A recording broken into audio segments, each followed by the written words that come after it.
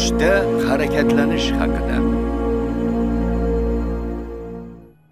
Ma'lum bo'lishicha uyquda uzoq vaqt qimirlamay yotish inson salomatligiga jiddiy zarar yetkazishi mumkin ekan. Tananing ma'lum bir qismi bir necha soat davomida gavdaning og'irligi ostida ezilishi qon tomirlarini siqib hatto yopib qo'yishi mumkin. Buning natijasida organizmga qon orqali yetkazib beriladigan kislorod va boshqa kerakli ozuqa moddalar epidermisgacha yetib bormaydi.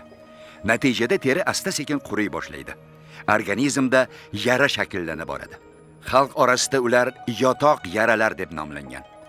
Teri ostida yoki yumshoq to'qimalarda yuzaga keladigan bu yaralar davolanmasa yoki ularga infeksiya tushsa jiddiy kasalliklarga sabab bo'lishi mumkin. Bundan tashqari yotoq yaralar inson uchun katta xavf tug'diradi.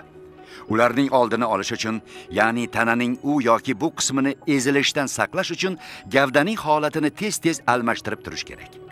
Buning uchun bemorlarni parvarishlashning maxsus usullari ishlab chiqilgan.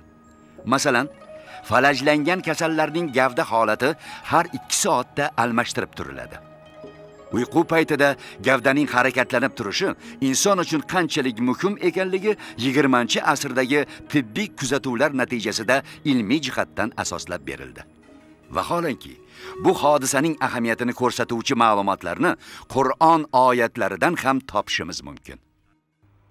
Uyquda ekanlar ko'zlari ochiq bo'lgani uchun sen ularni uyg'oq deb o'ylarsan.